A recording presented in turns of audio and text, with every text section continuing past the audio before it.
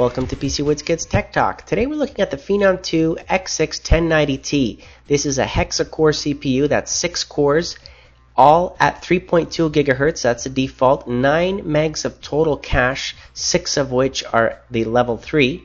This is a 125 watt CPU, as you can see here. It's an AM3 socket CPU and uh, it brings a whole bunch of new things to the table here that we're going to look at more in detail. The beauty about it is that it will fit on your existing AM3 board or AM2 Plus, just a simple BIOS upgrade and you're set to go. It will support the latest technologies and of course the turbo core technology that it turbocharges and basically allows you to increase on the fly uh, the um, core clock from 3.2 to 3.6 gigahertz. Now, I love the fact that it has lots of level 3 cache, 6 megs of it, and it supports USB 3.0. It supports, of course, the SATA 3, and it has all the power saving features as you would expect. And the new platform, the Leo platform, uh, supports DDR3, which you can keep using. It supports the new AMD 890FX chipset. Plop in this CPU, this 6 core, and an ATI Radeon 5870 and you're laughing with a top of the line system. Okay, so this is the new platform. Previously we called it a Dragon platform with a 790 FX chipset. Now this one here is the latest AMD platform and those are the components.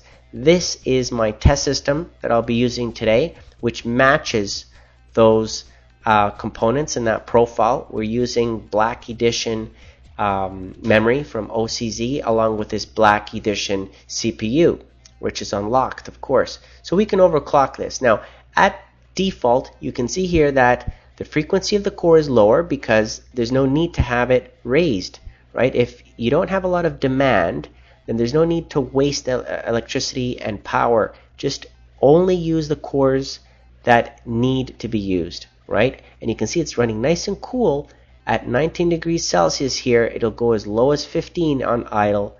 And uh, on demand, if you push this to running 100%, all six cores, then it's going to go to 3.2 gigahertz and beyond that. So if you have the turbo core feature enabled, three of those cores out of the six will be basically boosted to 3.6 gigahertz automatically and the voltages will be adjusted accordingly as well. As you can see here, temperature is only going up to 30 degrees Celsius.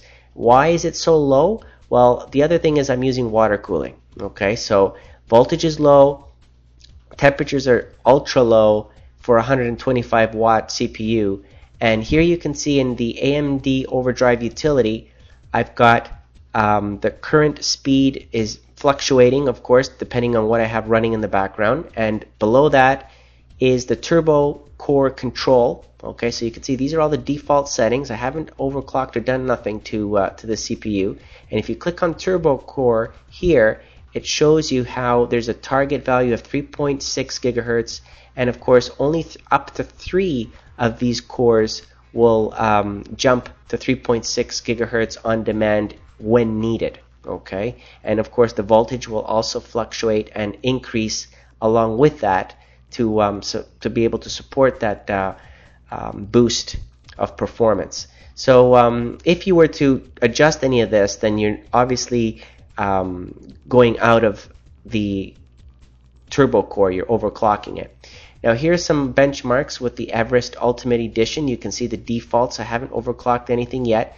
Turbo core has kicked in. That's why it says 3.59 um, gigahertz there and you can see here the different read write copy values that I'm getting and also in 3D Mark Vantage terrific CPU scores along with this HD 5870 that I'm running on the system.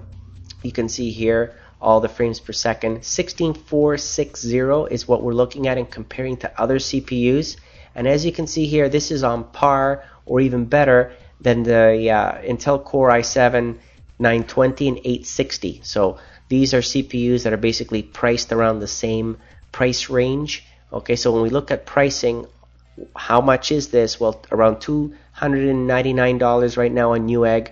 It'll be less than that depending on the deals that you can get. Compared to an Intel CPU, you can see here it's about $50 per core on this AMD and it's slightly more expensive, obviously, on the Intel. Now, when we do further benchmarks to see how it compares to other Intel CPUs, the PC Mark Vantage is something that I use to calculate CPU operations, and I compare that to other CPUs. So you can see how well this one does compared to previous generation and previous uh, CPUs. The SiSoftware, the Sandra software here that I use for comparison benchmarks, again, looking at the Intel Core i7 920, 750, and the AMD uh, Phenom 2 965. Here are the gigaflops, the um, ALU scores, and how it ranks against those other CPUs that I just mentioned. So you can see here that uh, the SI um, Sandra software here is saying that it ranks number one.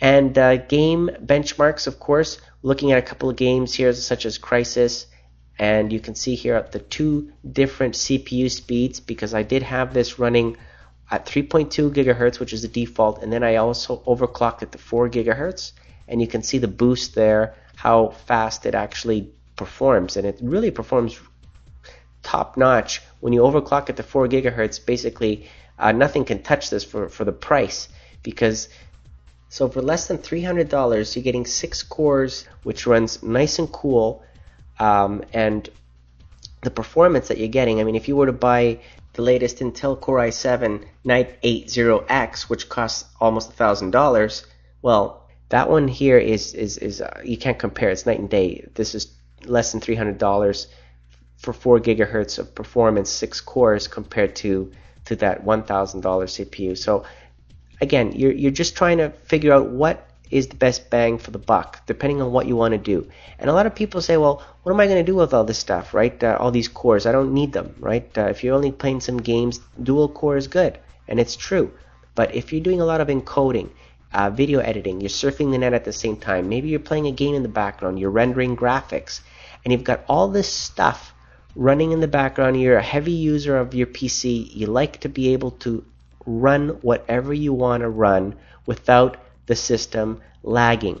Well, obviously, then you get a 6 core CPU. So I've got four tabs here of HD video running. I've got a game in the background. I've got rendering benchmarks happening. I'm encoding video in the background at the same time, converting from AVI. I'm doing a whole bunch of stuff all at the same time. Yes, all six cores are running full speed. Well, they better because this is a terrific CPU from AMD. And I definitely recommend it. For less than $300, not bad at all. So I hope you enjoyed this video and thank you for watching.